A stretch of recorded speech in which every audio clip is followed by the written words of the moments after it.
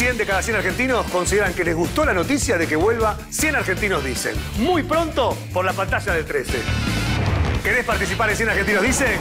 Vení, la vas a pasar bien, nos vamos a divertir y vas a ganar unos pesos. Anotate acá en el 13tv.com.